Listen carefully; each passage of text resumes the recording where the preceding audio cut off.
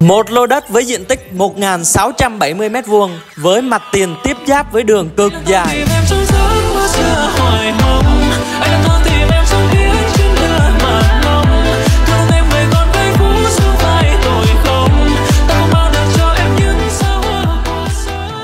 Điều đặc biệt, đây là một trong những lô đất thuộc trung tâm thị xã Ninh Hòa đã có kế hoạch lên quận.